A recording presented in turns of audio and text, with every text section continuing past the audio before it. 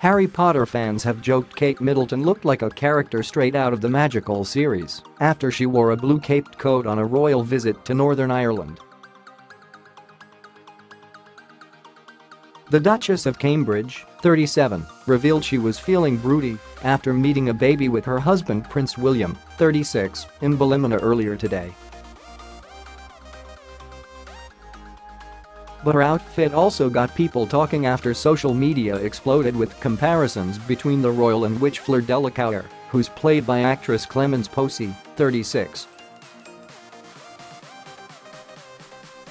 The beautiful wizard famously wore a blue silk robe, cape, and hat while competing in the Triwizard tournament in the fourth film which was her uniform at Beauxbatons, a French wizarding school.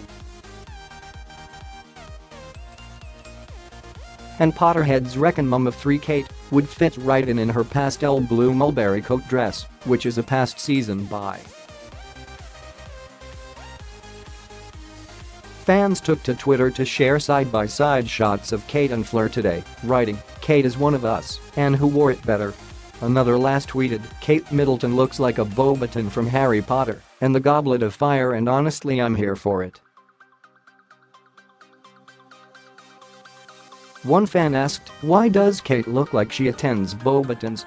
And another commented, if this isn't Kate Middleton serving Fleur Delacour's Beauxbaton uniform look then I don't know what is.